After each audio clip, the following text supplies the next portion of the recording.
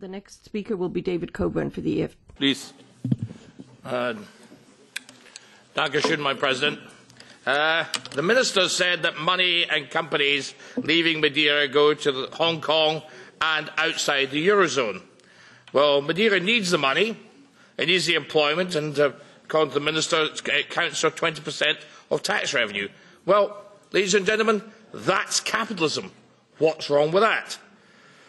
Uh, we need to see Europe's problem is that it is high tax and uncompetitive in terms of tax, and you simply won't listen. So no wonder money flees the Eurozone for Hong Kong, and the UK, and that will increase with Brexit. The Eurozone needs to be more competitive in tax policy, not various degrees of punitive socialist taxation. The EU and this committee in particular seems to want to extend the EU empire's punitive tax policy worldwide, which is another good reason for Britain leaving the EU the EU's Orwellian use of terrorism as an excuse simply doesn't hold water, as terrorists do not need money to, keep, to commit the recent low-level attacks they have been conducting in Europe. It's just an excuse to interfere and squeeze more money from the hard-pressed taxpayer to pay for the EU's largesse and large salaries and large uh, retirement funds. So let's be real about this. Uh, if we want to stop terrorism, that is not the best way of doing it. The security services are onto that.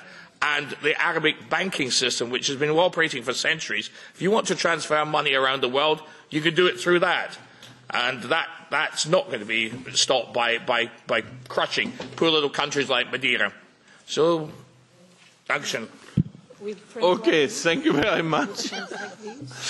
Uh, wir, wir haben ja mit den Brexit-Verhandlungen we haven't started with the uh, Brexit negotiations.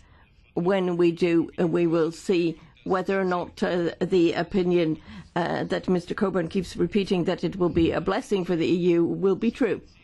Uh, go ahead. Uh, on a general tax issue, taxation issues, if you want to reply, you don't have to respond if you don't want to, but you may if you wish. Okay, es war ohnehin ein Statement. I, I think it was a statement. Uh, the next speaker that I have on my list is Markus Ferber.